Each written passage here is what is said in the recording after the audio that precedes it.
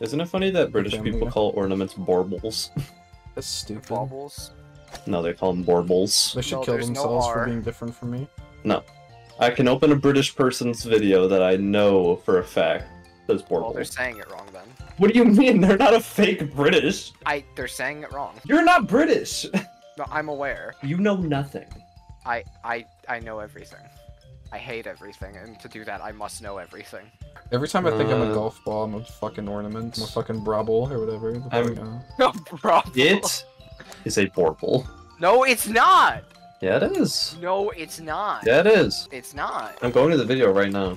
That's great. That guy's wrong if that's how he says it. Ornaments on your Christmas tree bubbles. Bubbles. Yes, without the R. I agree that that is correct. You didn't say it was that though. Yes, I did. Yes, I no, did. you didn't. I, I, I don't want to hear that I did. I very much did. Make a shot, gay boy.